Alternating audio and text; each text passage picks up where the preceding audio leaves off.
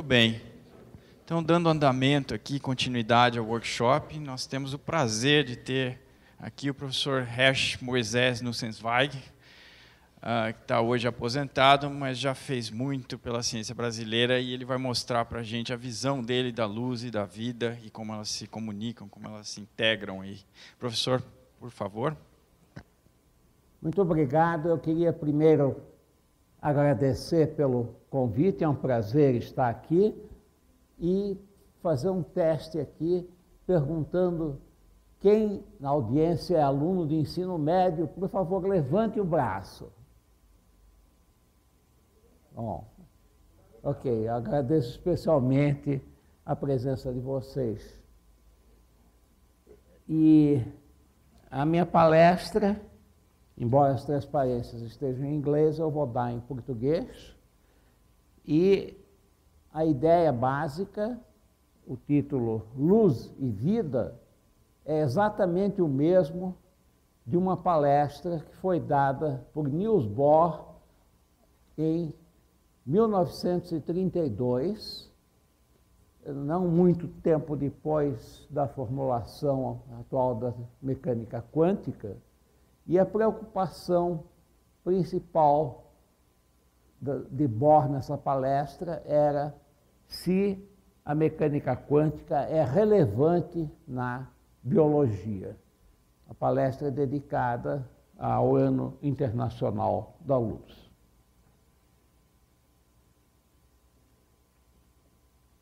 Uma coisa muito importante para quem trabalha uh, na biologia, como é muito importante uh, na física, é adquirir intuição sobre essa disciplina. Então, o físico adquire intuição física à medida que trabalha e conhece os diferentes fenômenos, teorias, experimentos, etc.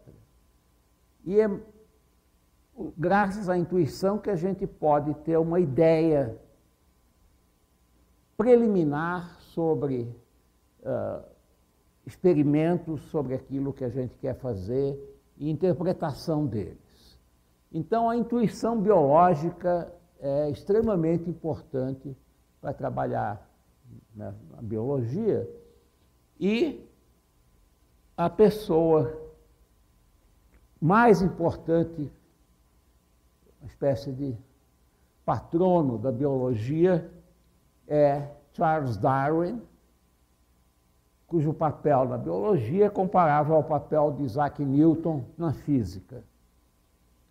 Um geneticista importante, que aliás esteve no Brasil, Dobzhansky, disse uma coisa que é básica nessa intuição biológica: nada na biologia faz sentido exceto a luz da evolução.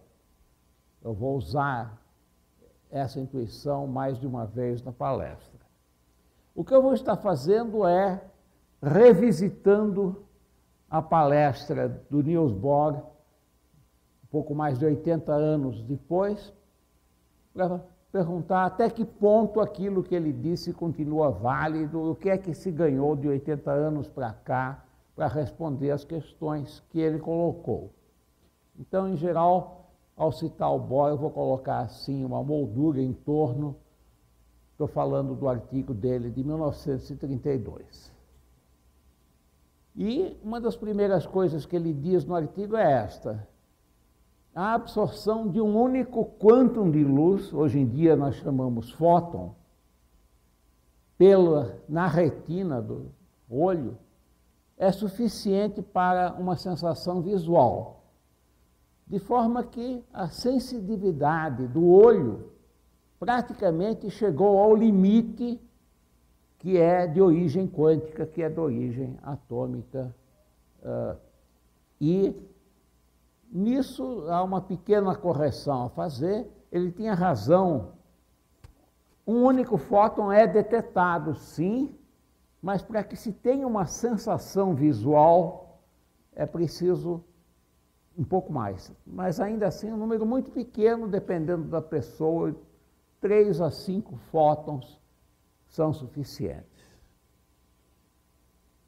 Entre os órgãos dos sentidos, essa sensitividade muito grande, no limite praticamente do possível, também é verdadeira no caso da audição.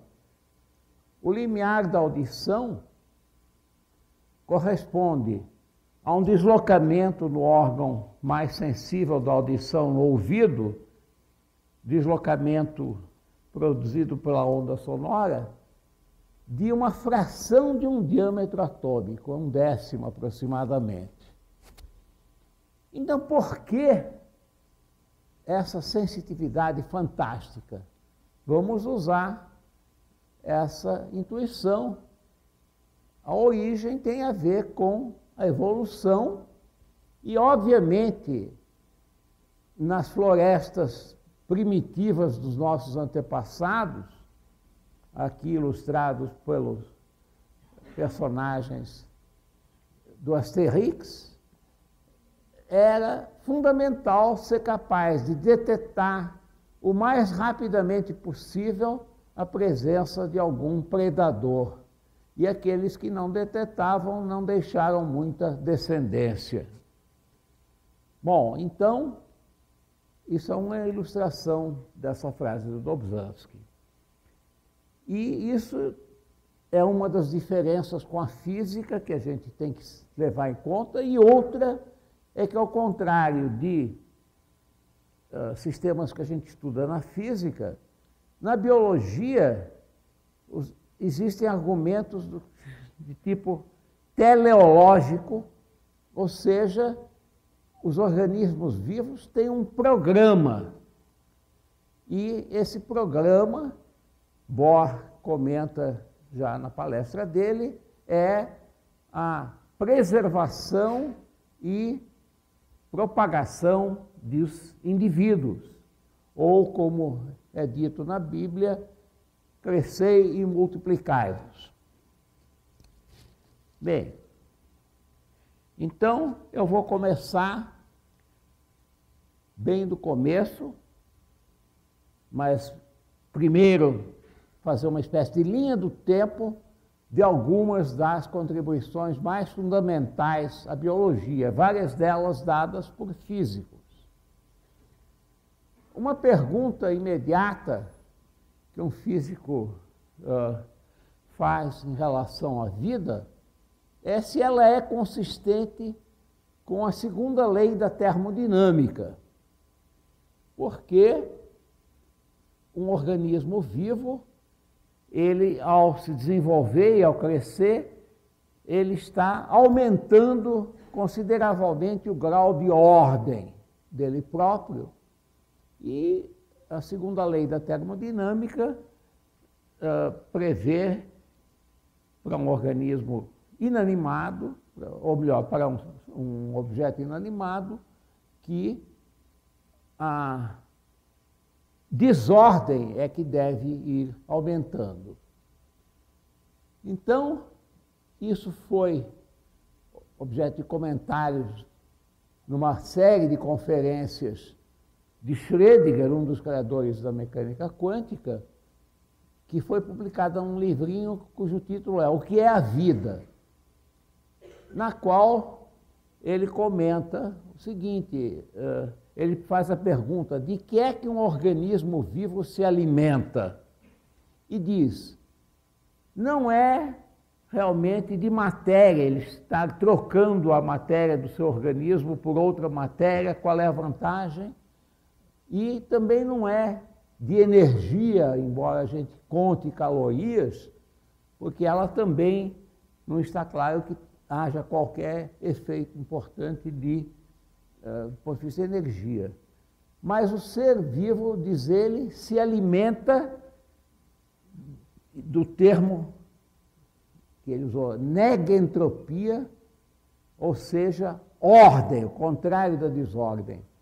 Então, ele se alimenta de ordem e isso já tinha sido dito muito antes por um dos grandes criadores da mecânica estatística foi Boltzmann, já em 1875, ele diz exatamente isso, que a luta pela vida dos seres uh, vivos não é por matéria-primas, nem por energia que existe já em qualquer corpo na forma de calor, mas por entropia, ele quer dizer entropia negativa, que fica disponível devido à transição de energia do Sol quente à Terra fria. Então, como é típico da segunda lei da termodinâmica, existe um corpo quente e um corpo frio e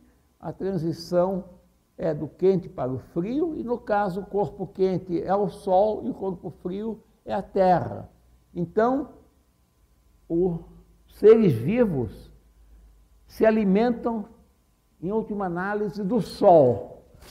E o Sol, ele o que faz, como a gente bem conhece, é dar origem a crescimento dos vegetais pela fotossíntese, com o que os próprios vegetais vão se alimentar da energia que vem do sol, e depois, ao se alimentar deles, animais também vão se alimentar dessa ordem que vem do sol. Eu vou voltar a esse assunto mais adiante, mas no livro do Schrödinger, ele também procurou explicar uma outra característica dos seres vivos, que é exatamente a herança genética. E naquela época não se conhecia a estrutura dos genes, isso não, isso foi antes da descoberta do, da dupla hélice. Então, ele procurou explicar o que é que é transmitido na herança que tem estabilidade genética usando a teoria quântica. Ele fez uma espécie de modelo hipotético do GEM como que ele chamou um cristal aperiódico, um cristal. A estrutura dele é estável graças à teoria quântica. E é o que hoje em dia chamaríamos de um biopolímero. E nisso ele foi influenciado por Delbruck, um físico que, por sua vez, foi influenciado por aquela palestra do Bohr de 1932, quando ele ouviu, ele decidiu passar da física para a biologia. Um outro, nesse caso, grande matemático que deu uma contribuição importante foi Alan Turing. Recentemente fizeram um filme sobre ele. Eh, ele, de certa forma, foi que tornou possível a vitória na Segunda Guerra Mundial ao decifrar uh, o, as mensagens uh, dos militares alemães que trocavam mensagens por código, decifrando esse código. Mas ele estava preocupado com o enigma do que se chama morfogênese a morfogênese é exatamente o que permite passar de uh, um uh, óvulo fecundado, por exemplo, que tem um conjunto pequeno de células, ao desenvolvimento do organismo todo até produzir um ser vivo, como nesse caso uma rã. E como se explica isso? Então, a hipótese que ele uh, formulou é que existissem substâncias que ele batizou de morfogens, e esse nome persiste até hoje, que são capazes de se difundir através dos tecidos de que os seres vivos são formados e, por reações químicas, criar uh, padrões que acabam levando à estrutura final do organismo. E para isso ele introduziu matematicamente o que se chama as equações de reação de fusão, que são realmente fundamentais para entender esse processo. Mas para o fim da palestra eu vou comentar sobre outras coisas importantes na morfogênese. Mas todos conhecem a grande descoberta por Francis Crick, que era físico, e Jim Watson, da dupla hélice, a estrutura do DNA, o uh, ácido deoxirribonucleico, que é o que é a base da genética, uh, essa estrutura de dupla hélice, e ela foi feita, enunciada por Crick em 1953, num pub de uh, Cambridge, quando ele disse: Descobrimos o segredo da vida. Isso era uma típica bravata de físico, mas, uh, embora não se possa dizer o segredo, sem dúvida era um dos segredos mais importantes da vida. Entre outras coisas, ele imediatamente dava um mecanismo que era de replicação dos genes, a herança genética, em que o mecanismo foi adivinhado por Crick, que era fantasticamente, uh, tinha uma intuição fantástica sobre isso tudo, através do RNA, que é o uh, ácido ribonucleico, que tem uma das formas é o tRNA, RNA de transferência, que passa do núcleo da célula para os órgãos onde as organelas onde vai ser, vão ser produzidas as uh, proteínas das quais eu vou falar um pouco mais adiante, que são fundamentais para toda a vida da célula. Mas uma outra descoberta de importância comparável foi feita por dois biólogos franceses, uh, Jacques Monod e François Jacob, em 1961, que foi a descoberta de como é feita a regulação na célula dessa transcrição dos genes, passando do núcleo para a produção de proteínas. E menos conhecida, um, uma hipótese formulada por Peter Mitchell em 1966, que se chama a hipótese quimiosmótica, que é um mecanismo universal, como é também o código genético, de produção de energia nas células e que foi chamado por Leslie Orgel, que uh, é muito importante em estudos sobre a origem da vida, a ideia mais anti-intuitiva na biologia desde Darwin. E a gente verá que ela é, de fato, extremamente importante. Então, eu vou falar sobre esse assunto, que é a origem da vida, uh, recomendando a leitura desse livro de Nick Lane, Life Ascending, uh, que transmite muita informação atual, importante sobre esse e outros aspectos da biologia. O ser vivo mais elementar e mais simples é a célula só que uma célula já é um sistema extremamente complexo. Então, como é que ela pôde se originar?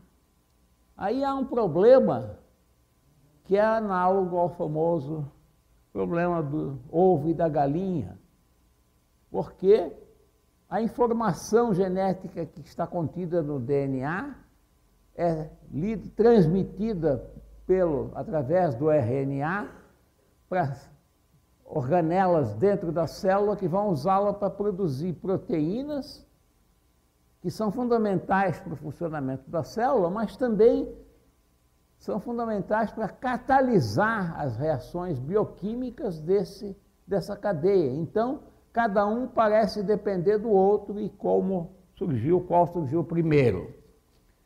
A minha filha quando estava no jardim da infância, deu uma resposta imediata. Papai, que pergunta tola! É claro que vem primeiro o ovo e depois a galinha. O ovo vem no café da manhã e a galinha só na hora do almoço. É hoje em dia matemática. Bem, mas o que facilitou entender esse problema é a hipótese também, bem posterior, do que se chama o mundo do RNA. Descobriu-se que o RNA faz muito mais do que se pensava. Ele é capaz, ele próprio também, de armazenar informação e, do, e atuar como catalisador e também regulador. Então, vários itens aqui dessa cadeia, o próprio RNA é capaz de assumir. E hoje em dia se descobriu que na regulação uh, é fundamental também o processo que se chama interferência por RNA. Então, esse assunto progrediu muito rapidamente e nos últimos poucos anos, várias descobertas muito importantes facilitaram entender a origem da vida. Uma delas foi a descoberta do que se chamam as fontes hidrotérmicas nas profundidades do oceano, das quais uma das mais importantes foi descoberta, para vocês verem como o assunto é recente, somente no ano 2000. Se chama o campo hidrotérmico da cidade perdida. E aí o que se tem são chaminés nas profundidades do oceano, das quais emana um fluxo de uh, alcalino e quente, e cuja origem é, em parte, sísmica e parte vulcânica, e sabe-se, ou há muita evidência, de que na época em que a Terra estava se formando, antes dos primeiros seres vivos, havia muitas dessas chaminés, e essas chaminés descobriu-se que tem uma microestrutura que aparece aqui, elas têm uma estrutura porosa e esses poros têm dimensões microscópicas tipicamente comparáveis com a dimensão de uma célula, alguns micron.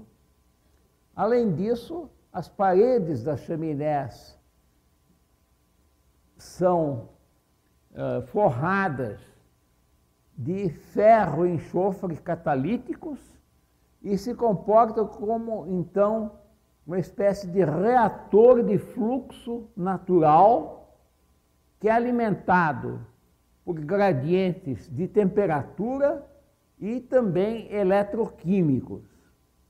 Então, usando esses gradientes, acabam se acumulando nesses poros hidrogênio e gás carbônico que reagem e produzem um acetilfosfato que é análogo ao ATP e, portanto, precursor do mundo do RNA.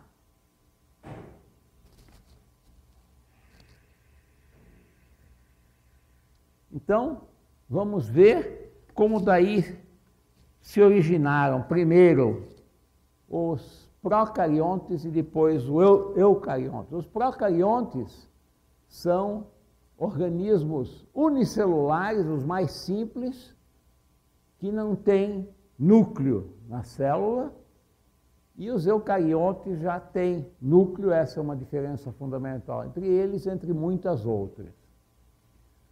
Mas esse assunto realmente pegou fogo muito recentemente, em particular um artigo publicado em 16 de março em Nature Chemistry mostrou que precursores de todos os tijolos fundamentais da química da vida, que são os ácidos nucleicos, como o RNA, os aminoácidos que formam as proteínas e também os lipídios que formam as membranas de células, todos eles poderiam ter surgido praticamente ao mesmo tempo na escala geológica, a partir de ácido cianídrico, HCN, depositado por cometas que colidiram, uh, com, colidiam com a Terra primitiva e os oceanos,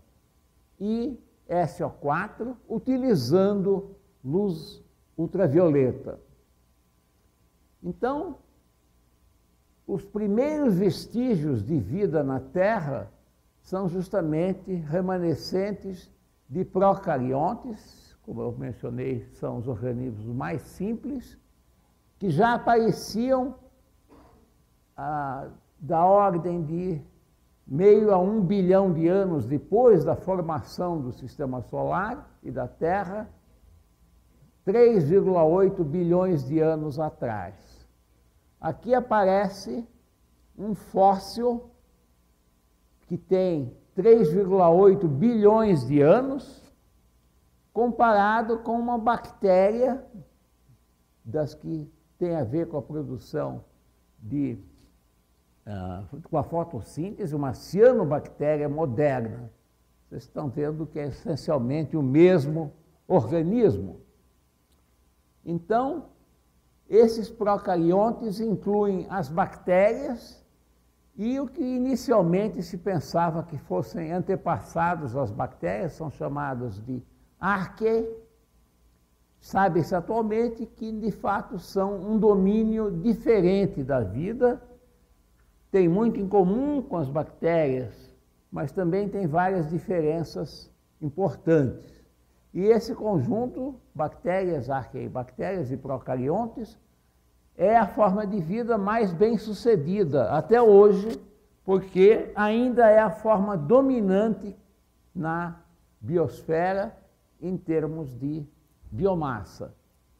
Então, o que se sabe hoje é que essa árvore de ramificação dos seres vivos contém aqui bactérias de um lado, as arqueias que vieram depois e, finalmente, vamos ver que tem a ver com a junção desses dois ramos, o ramo que dá origem aos procariontes, então vegetais e animais que nós conhecemos. Então, a ideia é que tanto as bactérias como a arqueia devem ter tido um ancestral comum que é conhecido como LUCA, que são as iniciais de Last Universal Common Ancestor, o ancestral universal comum. E esse ancestral tinha que ter duas características de todos os seres vivos que são universais. Uma é o código genético, é o mesmo para todas as formas de vida, e outro é a utilização daquilo que eu chamei a atenção, que é fundamental, o mecanismo da quimiosmose para geração de energia. O que é a quimiosmose? A quimiosmose opera tipicamente através de alguma membrana, que pode ser membrana, no caso de eucariontes, de organelas dentro da célula onde é gerada energia. Então, o que acontece é que há algum mecanismo capaz de bombear íons, essencialmente prótons, de um lado ao outro dessa membrana e com isso gerar uma diferença de concentração de prótons bem concentrados de um lado com muito menor concentração do outro. Daí decorre um uma força eletromotriz dessa diferença de carga de um lado e do outro, e essa força eletromotriz, à primeira vista parece pequena, tipicamente 150 milivolts, mas a membrana tipicamente tem uma espessura muito pequena, de, da ordem de 5 nanômetros, então isso corresponde a um campo da ordem de 30 milhões de volts por metro, extremamente intenso. E existe uma, uh, um motor proteico que se chama ATP sintase, sobre o qual vou falar mais adiante, cuja origem também é aparentemente uh, dessa época de origem da vida. Há mecanismos de como ele pode ter se formado exatamente nessas chaminés hidrotérmicas. Agora, como é que surgiram os eucariontes, que são células com núcleo? Isso é considerado o evento mais importante na evolução dos seres vivos complexos, da complexidade biológica. E o que se aceita geralmente é que eles resultaram de um encontro entre bactérias e arqueias que pode ter ocorrido uma única vez na história da vida sobre a Terra. Porque o que aconteceu é que um engoliu o outro, que permaneceu dentro do outro, numa relação endossimbiótica. A vantagem para um dos organismos que engoliu o outro é que tinha dentro dele um gerador de energia. Então, isso era uma vantagem muito grande em relação às bactérias e arqueias. Essa endossimbiose ocorreu, estima-se, há cerca de 2,7 bilhões de anos.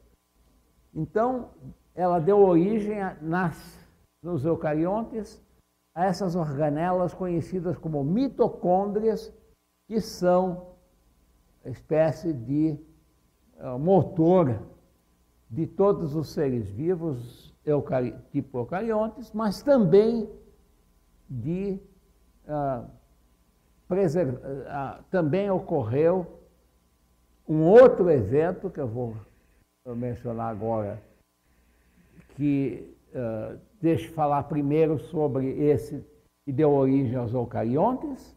De novo, uma descoberta recentíssima que ocorreu uh, da ordem de um mês atrás e deu origem uma manchete no New York Times, que é esta, uh, o elo perdido na evolução das células complexas, foi a descoberta também em profundidades do oceano e próximo a uma outra chaminé hidrotérmica conhecida como Loki. Então, esses elos perdidos são conhecidos como Loki. Eles são uh, eles são arquei, mas que já contêm muitas semelhanças com os procariontes. Então, graças a essa presença de uma usina de produção de energia dentro das células, foi possível o aumento muito grande de complexidade e que deu origem então a vegetais e animais. E, em particular, para os vegetais, houve um outro uh, mecanismo parecido de endossimbiose, que foi uh, colocar dentro das células cloroplastos, então permitindo a fotossíntese, uh, e a fotossíntese foi crucial, como eu vou comentar, para a sobrevivência da vida. E aí estamos voltando àquela frase do Boltzmann, o que aconteceu já a partir de 2,5 bilhões de anos atrás, foi a oxigenação da atmosfera pelas cianobactérias e leva então a dois processos, a fotossíntese baseada no oxigênio e o que se chama respiração celular. Um desses processos é essencialmente o inverso do outro, e é isso que mantém toda a vida na Terra a partir da luz solar. Então, eu não tenho tempo de entrar nos detalhes, já foi mencionada na palestra anterior a fotossíntese, mas o que ela faz, usando então uh, ingredientes uh, que vêm da atmosfera e, no caso das plantas, do, da, do solo, é, a partir deles, gerar, por um ciclo chamado ciclo de Calvin de reações bioquímicas, nutrientes para a manutenção uh, do ser vivo. Esses nutrientes são usados na alimentação a partir de, do mecanismo inverso, que é a respiração celular, e eles utilizam esse gradiente de íons, de prótons, para gerar o que se chama a proteína uh, fundamental, que é uma espécie de combustível universal das células, que é o ATP, o trifosfato de adenosina, utilizando para isso o mecanismo da quimiosmose. E a quimiosmose pode perfeitamente ser explicada a sua origem nessas chaminés hidrotérmicas, porque elas punham em contato o oceano, na época bastante ácido, com as paredes de estrutura alcalina, então gerava um gradiente de uh, eletricidade e davam um precursor da quimiosmose. E com a atmosfera assim formada, passou a ocorrer o efeito estufa, que hoje em dia é considerado um vilão na, do ponto de vista do aquecimento global, mas que na realidade foi quem permitiu manter a temperatura na superfície da Terra a um nível confortável. Se não fosse o efeito estufa, a temperatura da Terra estaria da ordem de 20 graus uh, Celsius negativa e não seria possível a evolução da vida. Muito bem. Agora vamos a uma das perguntas fundamentais que Bohr se propôs. Será que a mecânica quântica é relevante para a biologia? O que ele disse em 1932 é que a quantização ofereceu uma pista para entender a estabilidade intrínseca dos átomos, o que é totalmente correto. Hoje em dia, isso se demonstra como um teorema que a combinação dos princípios básicos da teoria quântica, com um deles, essencialmente, o chamado princípio de Pauli, explica a estabilidade da matéria. Então, a estrutura toda da matéria, da qual tudo é formado, em particular os organismos vivos, é explicada sim pela teoria quântica. Mas isso tem a ver com interações que são essencialmente elétricas e que dão origem, em particular, eh, combinada com efeitos quânticos, às ligações covalentes na química, que são ligações muito fortes. Mas será que esse tipo de ligação é relevante à biologia? E a resposta é não, porque as interações biológicas são muito mais fracas do que as, as interações químicas covalentes, o que se explica também por Darwin. Por quê? Porque para a vida é muito mais importante que as forças sejam fracas, que permitam a flexibilidade das uh, organelas e uh, reações bioquímicas e a catálise. E essas, então, típicas reações, interações biológicas são as forças chamadas de Van der Waals-London, ligações por pontes de hidrogênio, efeitos hidrofóbicos, essas são realmente as forças importantes em biologia.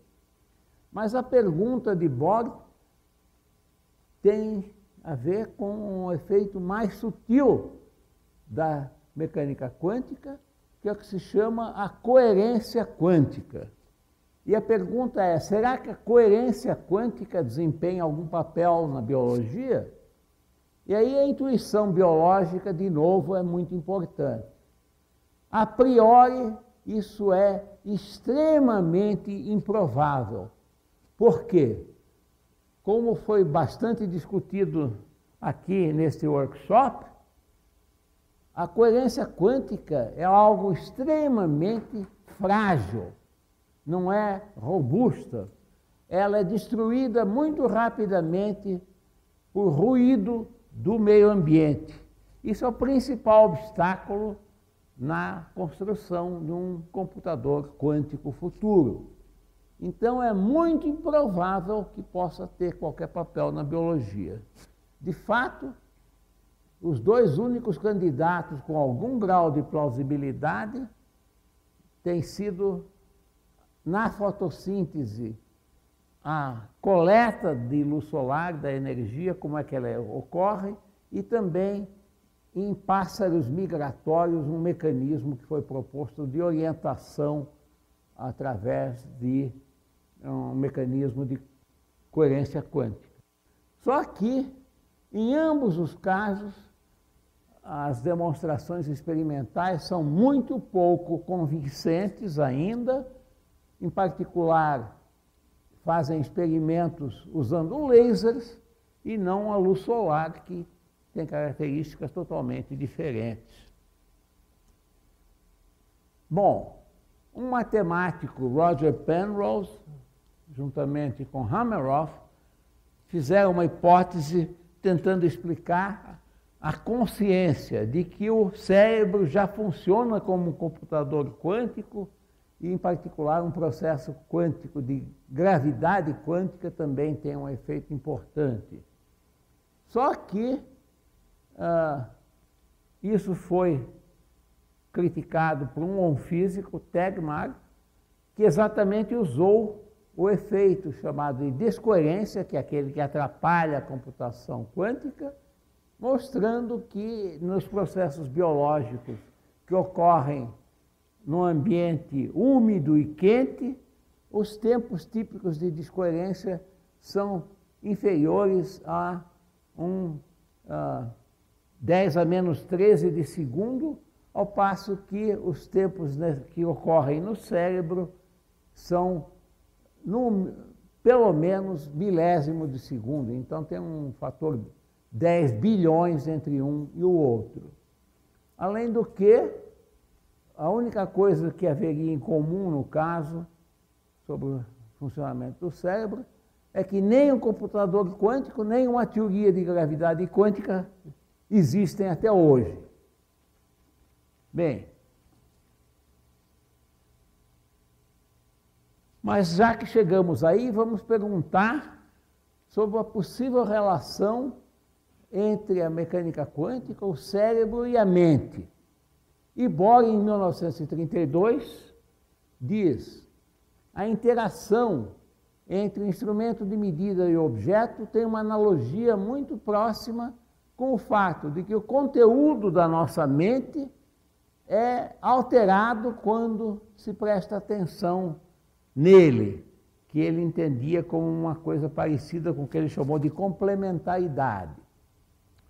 Bem, como é que isso fica hoje em dia? Hoje em dia nós sabemos muito mais sobre o cérebro e, em particular, sabemos que ele é o sistema mais complexo que nós conhecemos no universo. Ele é formado de quase 100 bilhões de neurônios.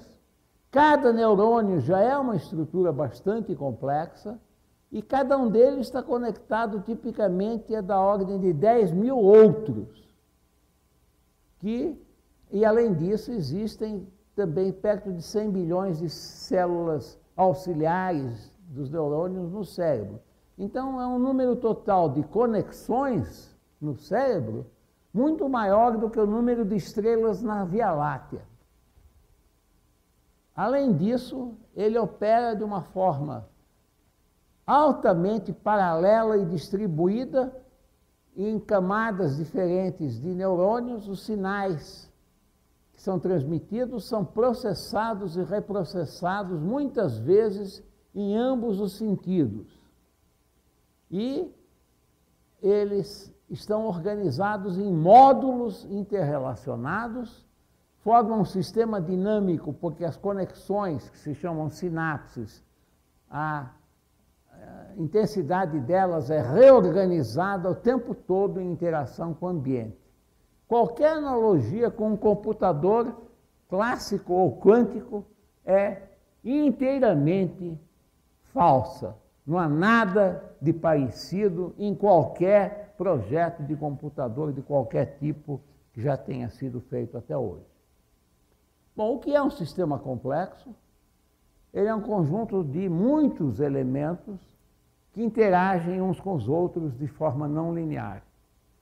E uma das propriedades características muito importante é o efeito que se chama de criticalidade auto-organizada, em que o sistema, sem precisar de qualquer parâmetro de controle, espontaneamente produz uma espécie de transição de fase, o nome é chamado mais bifurcação, e dá origem, assim, a propriedades coletivas chamadas emergentes, que não aparecem eh, com a estrutura simplesmente do sistema, e também a explosões de atividade que se chamam de avalanches.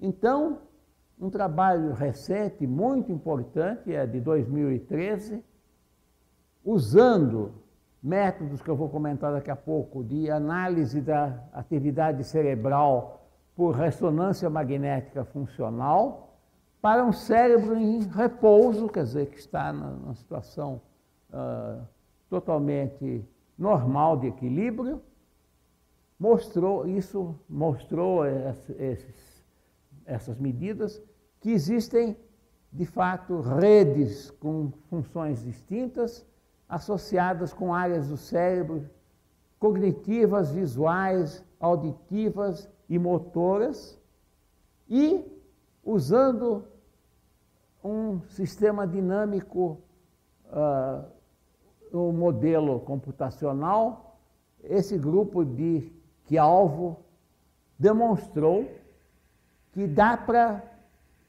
interpretar e reproduzir dados empíricos se condição necessária e suficiente, o limiar de ativação é exatamente esse estado crítico auto-organizado.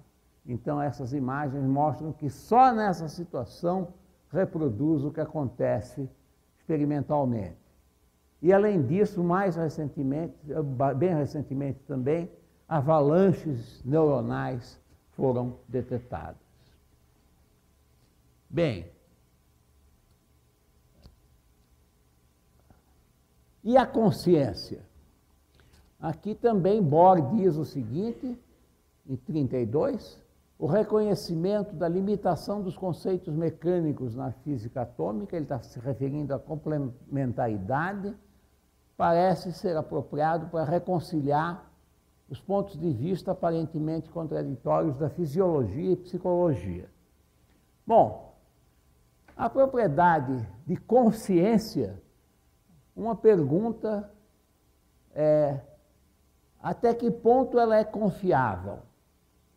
E Francis Crick, que procurou estudar exatamente o fenômeno da consciência uh, no final da vida dele, escreveu um livro cujo título é The Astonishing Hypothesis, a hipótese uh, surpreendente, e ele diz o seguinte: essa hipótese é que você, suas alegrias e tristezas, suas memórias e ambições, o seu sentido de identidade pessoal e de livre-arbítrio, de fato não passam do comportamento de um conjunto enorme de neurônios e outras moléculas associadas. Como a Alice de Lewis Carroll poderia ter dito, você não passa de um pacote de neurônios. Essa hipótese é tão estranha para a maioria das pessoas que, de fato, pode ser chamada de altamente surpreendente. Bom, vamos ver a questão da confiabilidade da nossa consciência. Então, o, muitas coisas que nós vemos ou sentimos são de fato fabricadas pelo cérebro.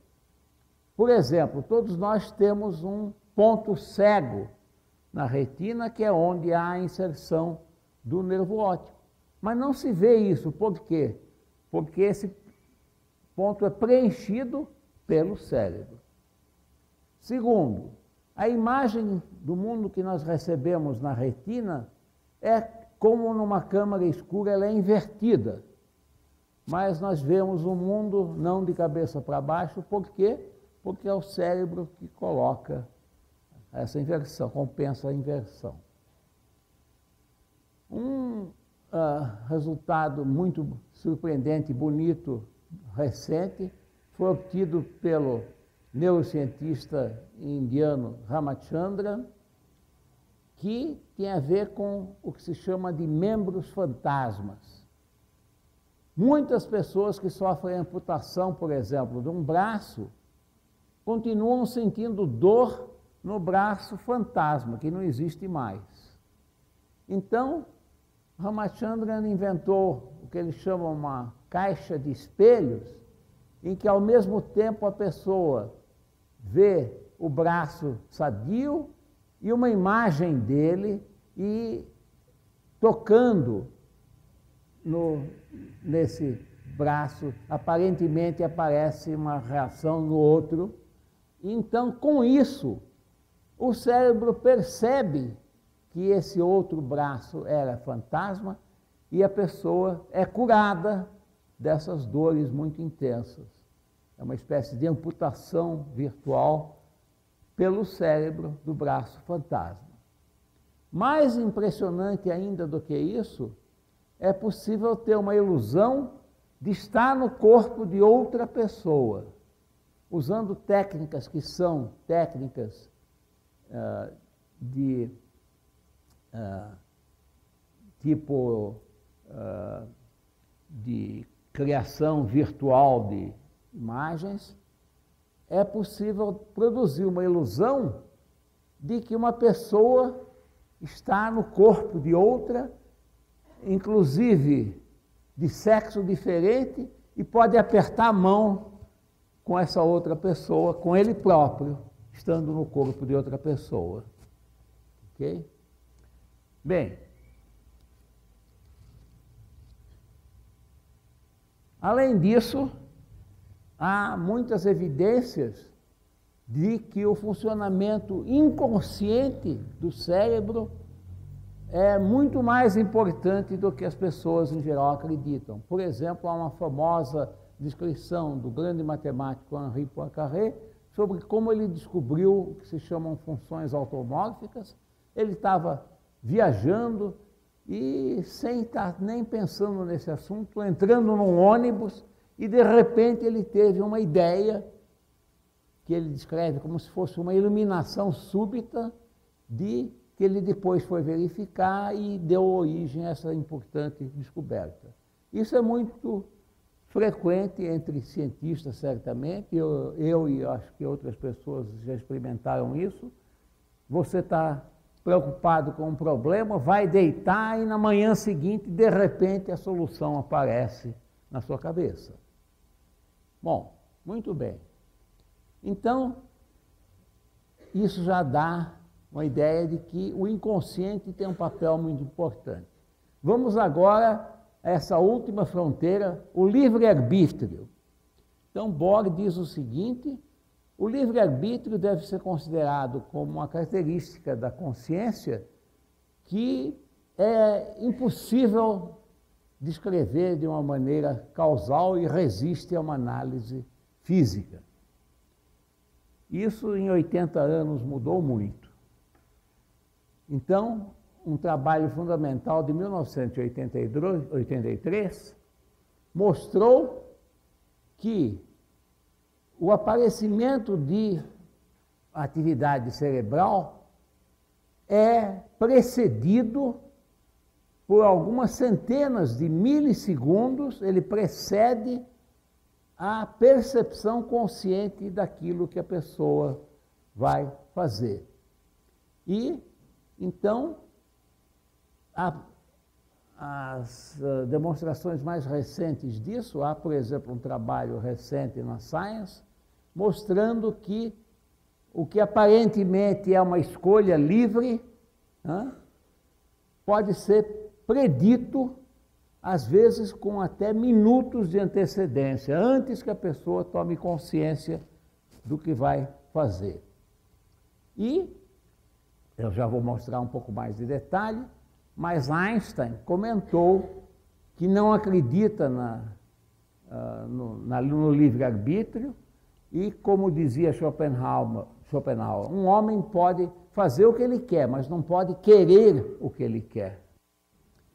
Isso também é comentado num belíssimo apêndice de Tolstói ao livro dele Guerra e Paz. Muito bem. Então, técnicas experimentais recentes, não invasivas, em particular o que se chama ressonância magnética funcional, eletroencefalografia, magnetoencefalografia, permitem monitorar a atividade do cérebro com resolução de milímetros no espaço e milissegundos no tempo. E confirmaram que a nossa consciência, de fato, é retardada em relação ao mundo externo e que a maioria das operações do cérebro são inconscientes. E uma demonstração experimental uh, está aqui, um teste em que as pessoas uh, tinham palavras pronunciadas e era registrada a, a atividade cerebral, mostraram que, em muitos casos, o, a resposta permanecia inconsciente, mas quando se tornava consciente, isso ocorria tipicamente da ordem de 300 milissegundos depois da excitação, por uma espécie de ignição cerebral, que é, digamos, o eureka. E mais recentemente se mostrou que é possível predizer uma decisão de mover um dedo com mais de 80% de precisão, quase um segundo antes que a pessoa tome consciência dessa decisão. Então, isso foi colocado em uma aplicação belíssima recentemente, um trabalho da Science recém-publicado, em que, implantando microeletrodos na região correta do cérebro para ler a atividade de cerca de 100 neurônios ao mesmo tempo e usando o que se chama a interface cérebro-computador ou máquina, um, uma pessoa tetraplégica conseguiu pegar e tomar um copo de cerveja muito antes de que ele tivesse tomado consciência de que estava para executar esse resultado. Então, na cura disso, isso foi uh, teve, de fato, repercussão mundial, apareceu no noticiário da TV. Então, atualmente, os neurocientistas, em geral, têm a uh, ideia de que consciência e livre-arbítrio são propriedades emergentes do nosso cérebro como sistema complexo. Bem, e agora eu apaguei tudo. Não. Agora vou passar a segunda parte da palestra, em que eu vou falar da luz como um instrumento para a biologia. Bom, isso desde o início da biologia, um instrumento fundamental é o microscópio.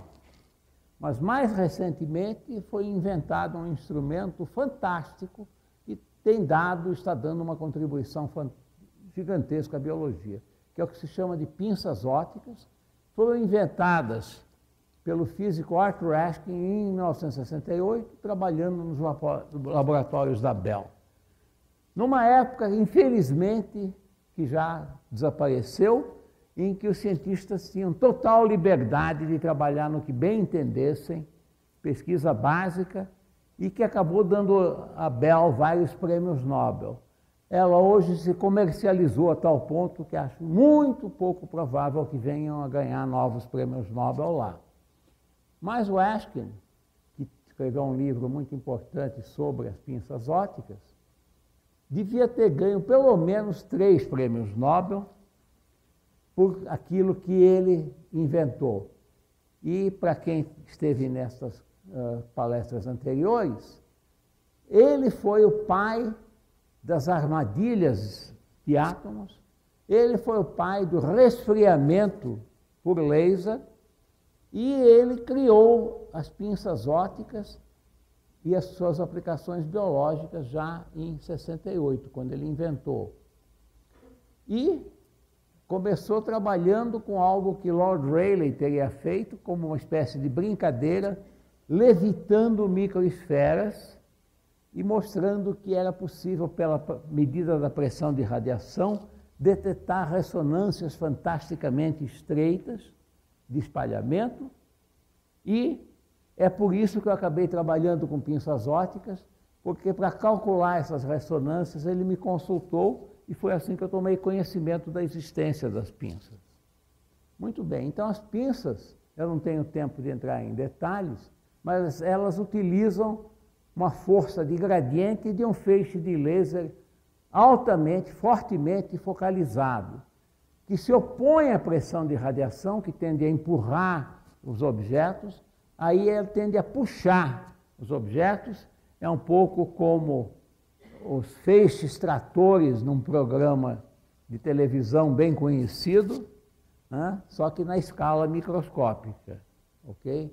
E, uh, e o que é fundamental nas aplicações biológicas é que o feixe de luz laser é tipicamente no infravermelho, numa janela de transparência da água, a maior parte da célula é água, então não produz dano na célula. E isso permite manipular células em vivo. E observar então e medir deslocamentos e forças da escala celular.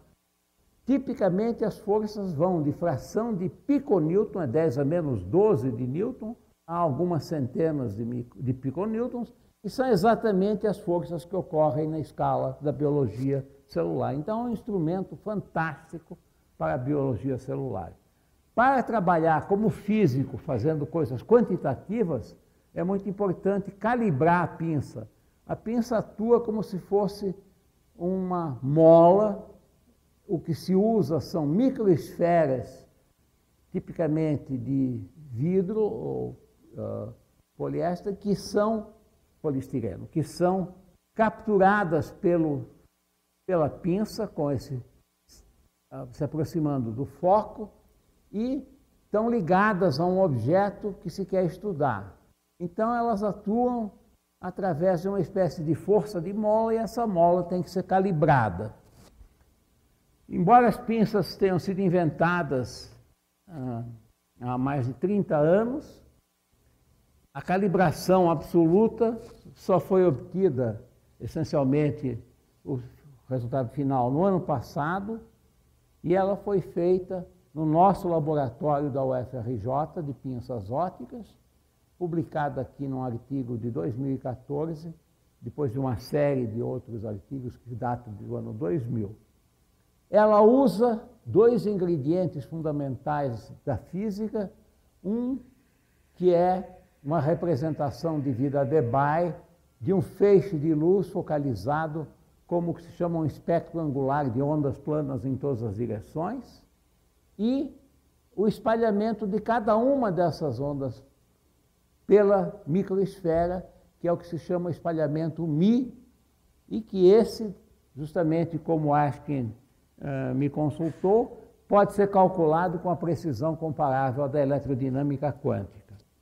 Então, usando essas duas teorias combinadas.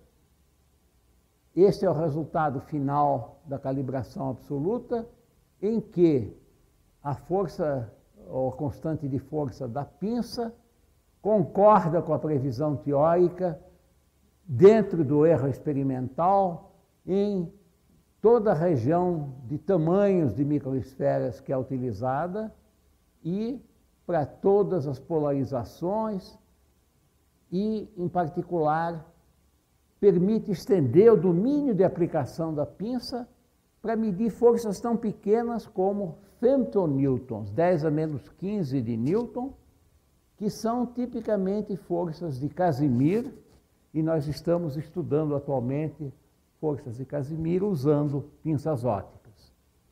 Muito bem, voltamos a Bohr. Então, outra coisa que Bohr diz no artigo dele é: sem dúvida, se nós quiséssemos investigar os órgãos de um ser vivo para entender até que ponto átomos ou moléculas individuais afetam as suas funções vitais, nós estaríamos matando o ser vivo. Bom, há uma frase que é atribuída ao Bohr dizendo: é muito difícil fazer previsões, especialmente sobre o futuro. E aí isso se aplica a ele. Essa previsão dele estava completamente errada, a tal ponto que atualmente existe uma revista que tem muitos artigos que se chama uh, Biologia Celular com Moléculas Únicas. Então, isso é possível graças às pinças ópticas. Em particular, foi possível estudar o que se chamam as proteínas motoras. Aqui tem três M's, são máquinas moleculares maravilhosas, capazes de converter energia química diretamente em trabalho mecânico. E elas fazem todo tipo de funções dentro das células. Tudo que as células fazem, grande parte é consequência das proteínas motoras. Como é que elas podem ser tão inteligentes? A resposta foi dada, de fato, por um outro grande teórico da biologia, que eu já mencionei, Jacques Monod, naquele livro maravilhoso dele, que é Le hasard et la nécessité, o acaso e a necessidade ele tem um capítulo que se chama Os Demônios de Maxwell, e o que ele diz é que as proteínas são demônios de Maxwell. Então eu não tenho tempo de entrar nos detalhes, mas quero só mencionar algumas aplicações e comprovações disso. De fato, a forma como atuam esses demônios de Maxwell foi uh, popularizada no livro do Feynman, de eh, Física, volume 1, quando ele discute a segunda lei da termodinâmica e propõe o que se chama um demônio de Maxwell automático. Talvez não é bom falar disso aqui numa universidade, mas é a terceirização do demônio de Maxwell, fazer ele automático.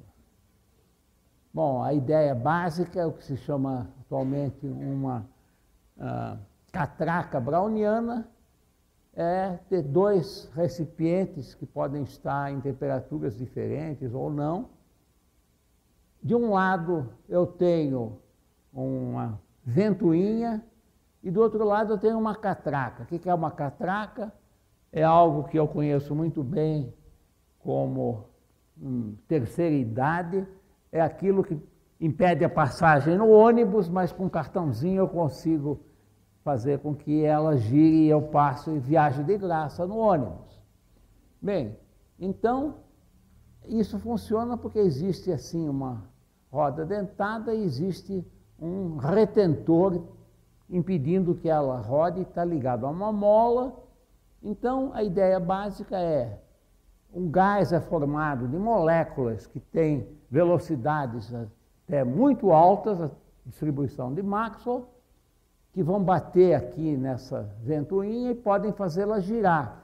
Mas só fazem girar se a catraca deixa fazer girar no sentido correto. Então, se eu ligo aqui os dois para uma polia, suspendo um peso bem pequeno, eu posso suspender essa polia, realizar trabalho, mesmo que os dois recipientes estejam na mesma temperatura. Isso seria uma contradição da segunda lei da termodinâmica.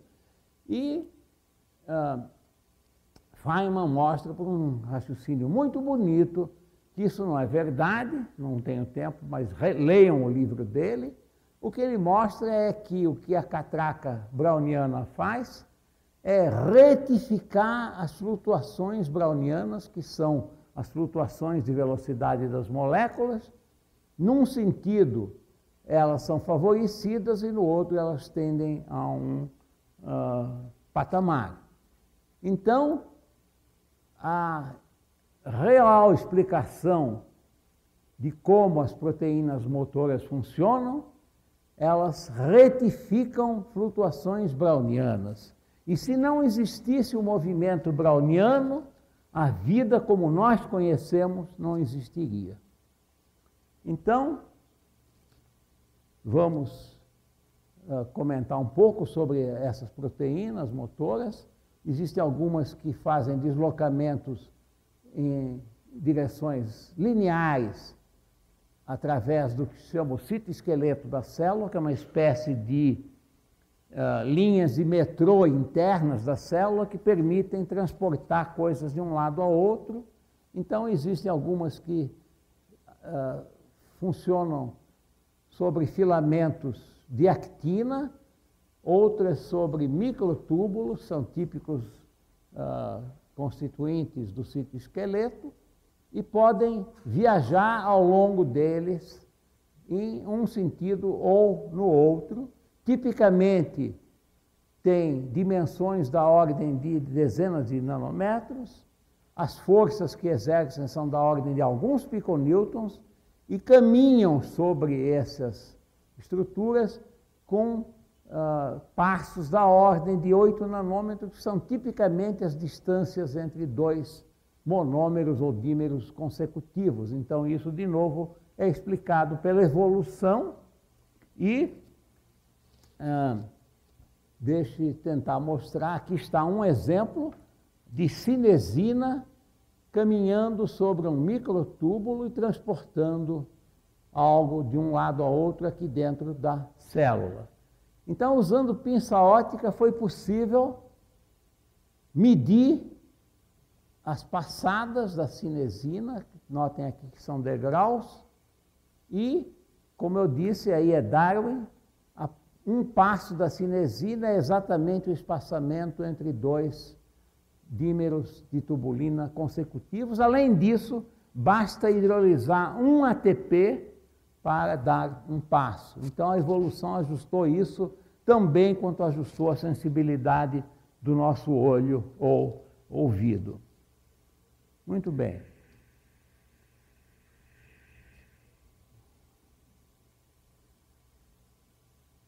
E aqui estão imagens de outra proteína motora, miosina 5, em tempo real, caminhando sobre filamentos de actina. Isso é fantástico, é uma técnica nova de microscopia de força atômica que permite fazer uma espécie de filmagem.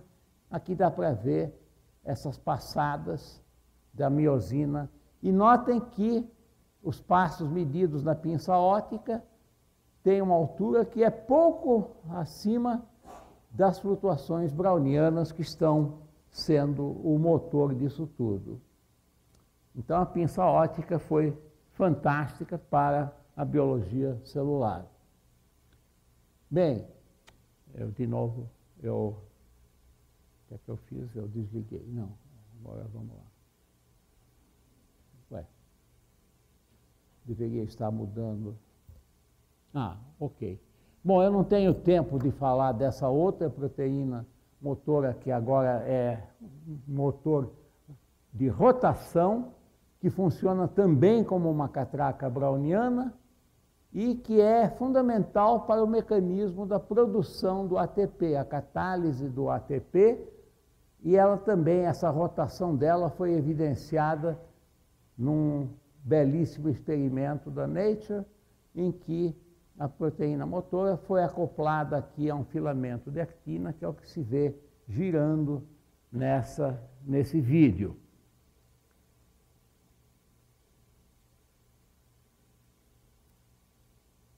Deixa eu falar um pouco então de uma nova área da biologia celular, que se chama mecanobiologia, e na qual nós trabalhamos bastante no nosso laboratório de pinças ópticas.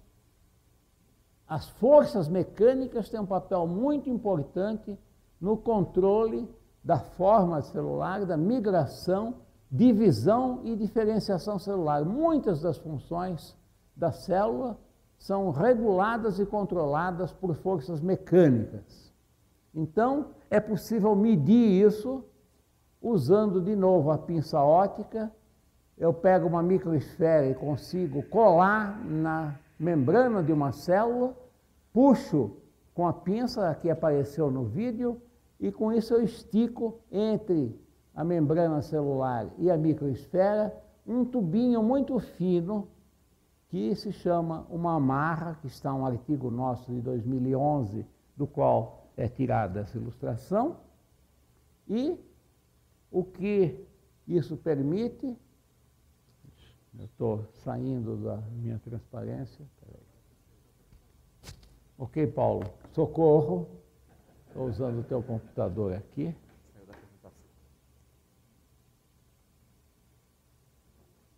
Ok? Então, nós estudamos no laboratório, investigamos se as propriedades elásticas das membranas que nós podemos medir com a pinça afetam a função da célula. E mostramos que sim, para células do sistema nervoso central, em particular há umas células que são chamadas microglia, que têm um papel análogo ao dos macrófagos, que são a fagocitar organismos que podem ser nocivos. Então, para fagocitar o contato com esse organismo estranho, ativa ou macrófago ou a microglia, e a gente mostrou que com isso, por exemplo, o que se chama rigidez de curvatura da membrana decresce por um fator de 3 ou mais. Então, isso facilita que a célula, ou macrófago ou microglia, se encurve e engula o agressor, que é o sistema de defesa, no caso do cérebro também. Bom, além de puxar amarras, as células são capazes de produzi-las espontaneamente. Isso nós descobrimos pouco depois de montar o laboratório, formando o que se chama nanotubos de tunelamento. Isso apareceu na literatura nesse trabalho de 2004 da Science. Aqui aparecem nanotubos ligando células distantes uma da outra e nós investigamos esses nanotubos que nós conseguimos produzir, então apareceram no nosso uh, sistema de células. E notem o que está acontecendo aqui, eu puxando um nanotubo, eu vou conseguindo fazer uma espécie de V nele, é, é muito fino aqui, não sei se está dando para perceber. Mas além de um certo ponto, ele se bifurca, porque a célula está reagindo a célula é viva e isso não é um experimento de física, de elasticidade. A célula reage. Então, se alguém está puxando um fio do seu cabelo, você não gosta, a célula também não gosta e reage dessa maneira. Aqui vocês veem a medida da força em função do puxão que a gente está dando e notem aqui o efeito do movimento browniano e uh, uma das coisas que nós demonstramos nesse trabalho foi que esses uh, filamentos, os TNTs, contêm actina. Se acreditava que eles são ocos, mas não é verdade. Há actina dentro deles. Bem, uma, um experimento lindíssimo, vocês estão vendo aqui, mostrou pela primeira vez que quando se sinaliza com um, um mecanismo que seria o equivalente de um uh, antígeno numa célula do sistema imunológico chamada célula dendrítica. Esse fluxo, há um fluxo de cálcio que se transmite às células vizinhas e, ao, e ele se transmite através dos TNTs, desses nanotubos. E com isso, ele avisa a célula dendrítica que está ocorrendo algo, ela, por sua vez, vai passar a caminhar em direção a outras e transmitir esse sinal. Isso foi a primeira demonstração experimental de que células que não são do sistema nervoso se comunicam com outras que estão à distância, que pode ser uma distância de muitos diâmetros celulares. Então, é um novo sistema, entre aspas, nervoso, usado pelas células e, aqui eu vou resumir uma grande quantidade de trabalhos, essas comunicações, o que, que elas fazem? elas fazem muitas coisas diferentes, elas são usadas por uma célula para mandar um sinal de aviso a uma outra de algum perigo, como aconteceu nesse caso que eu mostrei agora, e transferir um sinal, se há um perigo, para que a célula cometa suicídio celular, que se chama apoptose. Nós observamos isso também no nosso laboratório. E o que se descobriu bem recentemente, é que esses nanotubos são usados oportunisticamente por uma variedade de patógenos para invadir células e transmitir infecções. Isso se demonstrou para bactérias, para vírus, inclusive o da AIDS, e para os famosos prions, responsáveis pelo mal da vaca louca Todos eles utilizam TNTs para infectar outras células. Mais recentemente se descobriu que eles têm um papel importante também na transmissão de, entre células do câncer. Células cancerígenas usam disso. Então, tudo isso indica que esses TNTs são algo que deve vir desde a origem das células porque todos esses patógenos já descobriram como utilizá-los. Estamos continuando nessa linha de pesquisa que é muito interessante. Agora, tentando fazer um resumo de tudo que eu mostrei, o título do livro de Monod, O Acaso e a Necessidade, é fantástico porque é uma explicação da vida a vida resulta de uma combinação entre o acaso da roleta e a necessidade do relógio, e eles são complementares na vida. A ordem aparece já no genoma, que é onde está contida o mecanismo da herança, aparece nos mecanismos de alimentação dos seres vivos pela captura de luz solar e aparece nessas máquinas moleculares maravilhosas que são as proteínas motoras. E o caos? O caos aparece em flutuações, é ele que produz mutações ao acaso do genoma e é a fonte do movimento browniano que permite que as proteínas utilizem o mecanismo do demônio de Maxwell.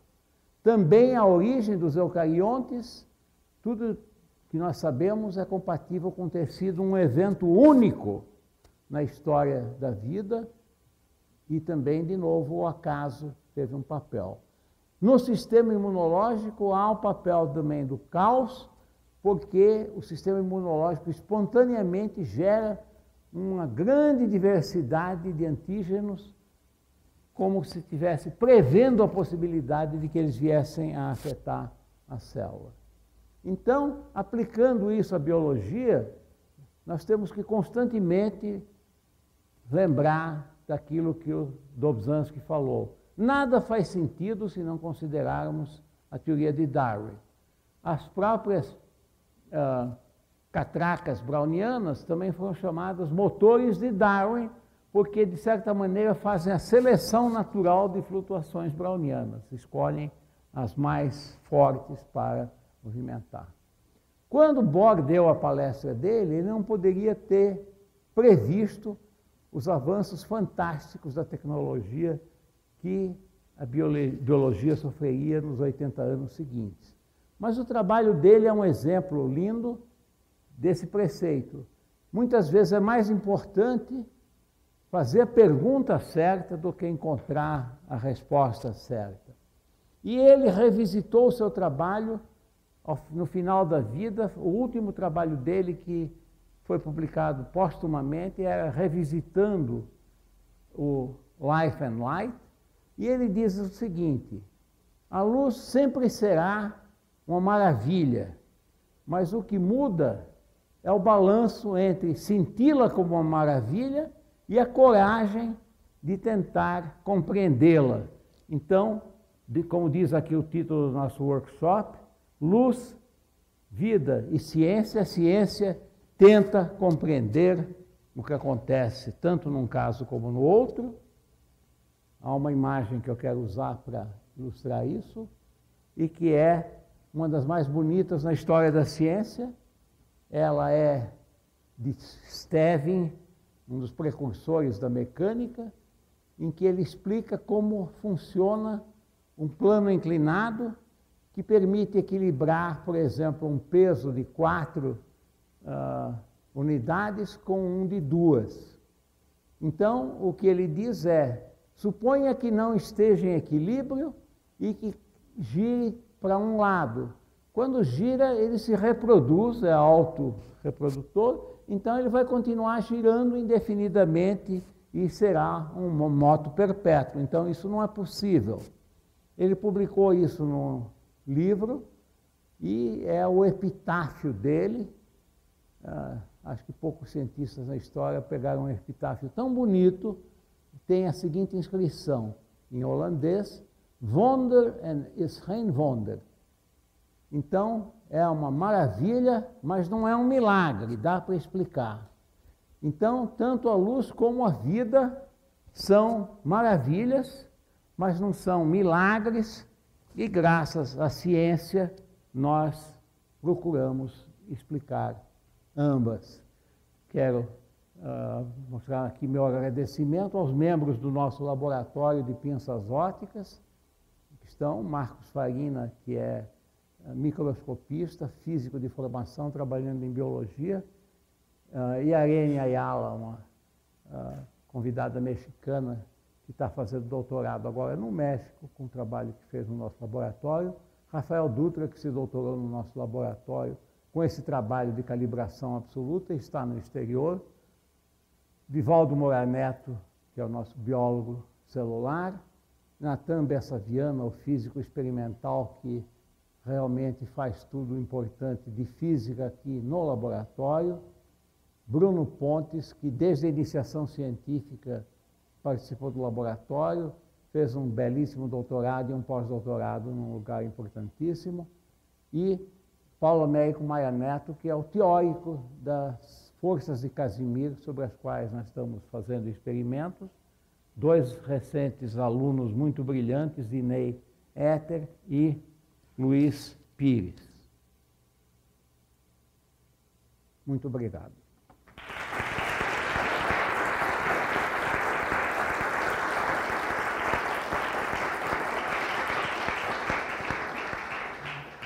Muitíssimo obrigado, Perguntas professor. em voz bem alta ao microfone, senão eu não ouço. É, bom dia, professor. Eu me chamo Guilherme. Primeiro, parabéns pela aula inspiradora de História e de Ciência. É, em dezembro de 2012, eu estava nos Estados Unidos num café da manhã da Sociedade dos Estudantes de Física. Ao meu lado direito estava o professor Freeman Dyson. E um estudante, um colega meu, perguntou para ele o que, que o, senhor, o senhor acha da teoria da unificação das forças. E ele respondeu a seguinte coisa: Eu espero que não encontrem, porque vai acabar o mistério e aí não teria mais graça. E eu queria perguntar para você, então, o que, que o senhor acha, o Crick falou que descobriu um dos segredos da vida, o que, que o senhor acha da teoria, da gente encontrar a teoria da unificação dos segredos da vida? O que é que eu acho de que teoria? é a unificação das forças. Não, no ah. caso do, da vida. Assim, a, o, o, o... Isso atrapalha. Bem, ah, é, houve muita popularidade, sempre continua, de teorias chamadas de uh, grande unificação, uh, e há físicos, principalmente teóricos, perseguindo encontrar uma teoria de grande unificação. E uh, um comentário, talvez um pouco maldoso, mas vale de muitos pontos, que é, é o seguinte: é mais fácil fazer uma teoria de tudo do que uma teoria de um fenômeno específico. Então, a teoria das pinças ópticas levou para nós cerca de 15 anos para conseguirmos entender o funcionamento realmente a partir de primeiros princípios. Eu acho que a gente está muito longe de uma teoria unificada e até comentei aqui numa palestra anterior do Alain Aspect que uh, nós temos evidentemente a descoberta na cosmologia de que aquilo que nós tratamos com a nossa física é apenas cerca de 4% do que existe no universo e não temos a menor ideia do que é matéria escura, do que é energia escura e muito mais do que isso. Então, a força mais antiga conhecida na física, que é a gravidade, nós continuamos não entendendo. Então, acho que a gente está muito longe de ter uma teoria final, unificada na física, quanto mais na biologia. Na biologia, ah, e é por isso que eu criei esse laboratório, o forte do desenvolvimento da biologia é biologia experimental. Nós temos muito que aprender experimentalmente antes de procurar formular qualquer espécie de teoria unificada, se é que isso é possível. Mas aqueles princípios que eu mencionei no início, em particular ah, o, o que disse Dobzhansky, nada faz sentido se não ser usar a evolução para iluminar o que está acontecendo e procurar entender o que está acontecendo.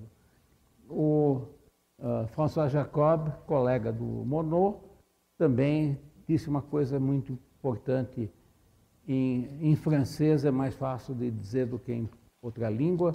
Ele diz: L'évolution n'est pas un ingénieur, elle est un bricoleur. Bricoleur é uma espécie de faz-tudo. Ele usa qualquer coisa que tenha à disposição para montar outras coisas. E é verdade que a evolução funciona assim. Qualquer mecanismo que a evolução acaba descobrindo ao longo do tempo por razões darwinianas, ela guarda e usa para outras finalidades. Ele surgiu para alguma coisa, mas está lá guardado na memória. Quando surgir uma coisa para a qual isso possa ser usado, muito bem, vamos usar. Ela pouco se importa se é o mecanismo mais eficiente, mas importa que funcione.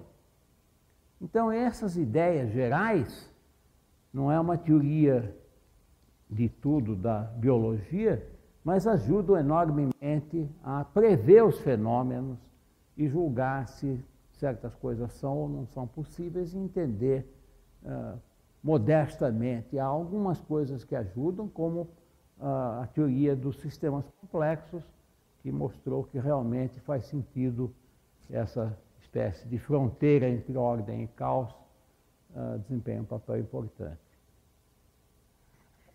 Bom, professor, é, um físico estatístico uma vez conversando, ele disse que como a vida viola a segunda lei da termodinâmica, é por isso que a gente morre no final.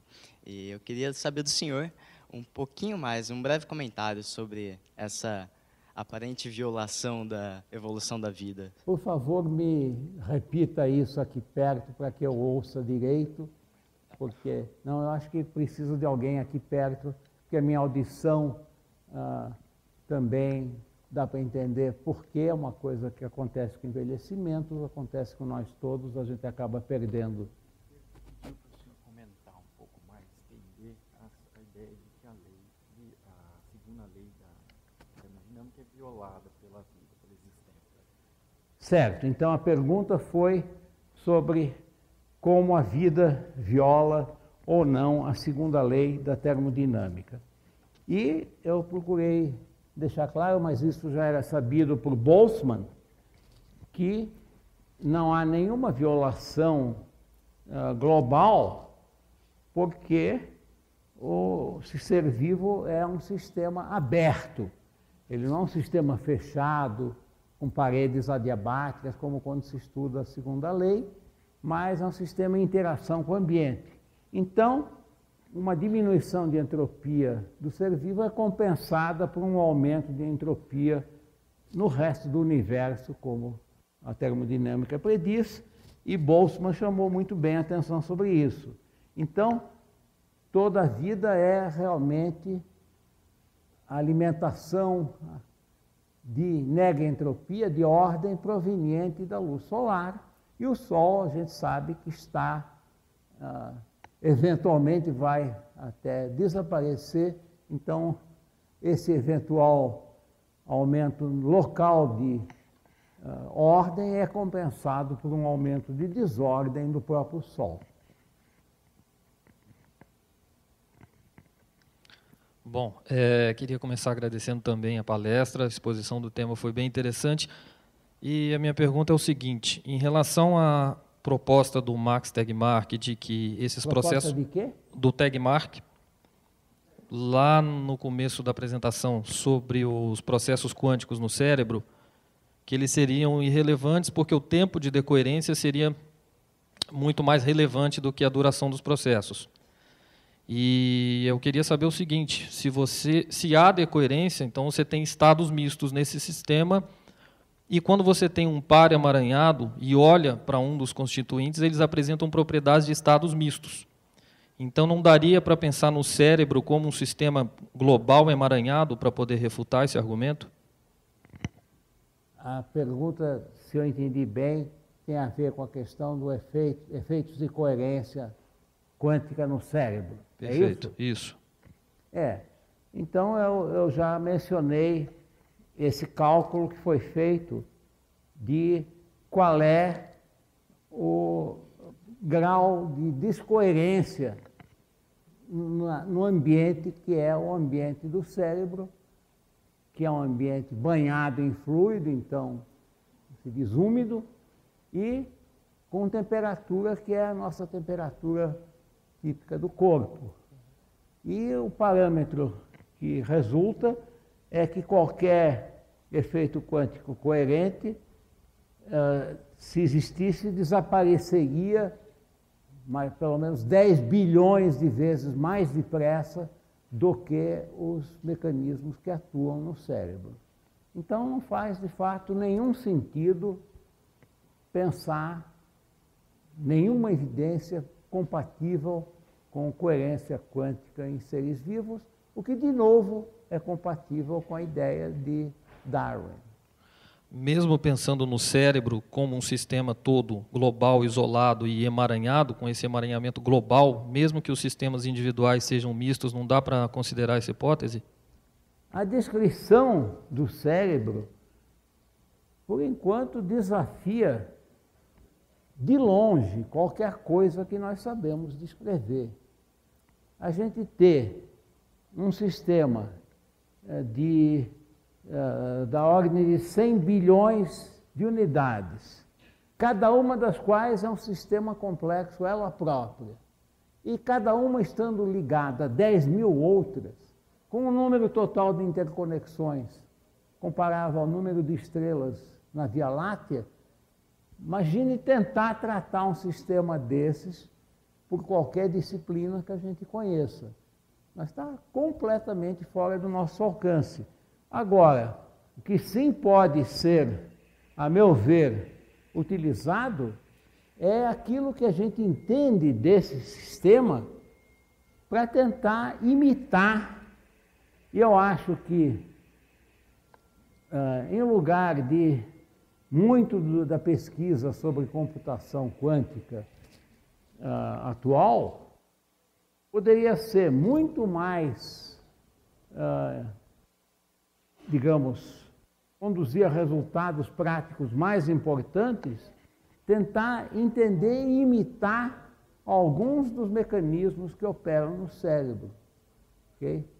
Toda a teoria da computação criada por von Neumann eh, não se aplica de maneira nenhuma e mesmo a ideia da computação paralela que foi tentado desenvolver, ela é usada no cérebro, mas ela é usada entre muitíssimas outras formas que nenhum computador até hoje tentou realizar. O fato de que cada unidade do sistema está processando uma quantidade gigantesca de sinais de interconexões que está se ajustando a cada instante a tudo que está ocorrendo no meio ambiente e que está modificando então as suas características, que são a força das sinapses, é, em função disso, e que está processando o sinal de uma maneira que nenhum computador jamais inventado tenta processar com módulos, mas que processam e reprocessam, retroalimentam e alimentam para frente o sinal de muitas maneiras, com camadas de neurônios interconexões. Não há nada disso que se aproxime de algo que um computador hoje conseguir realizar. Mas tentando entender esse sistema gradualmente, imitando, é possível que se faça muito mais progresso para computadores do que usando uh, coisas como a, a, coerência quântica, que o, o cérebro não utiliza porque seria extremamente frágil, como é quando a gente tenta fazer o computador atual. Obrigado.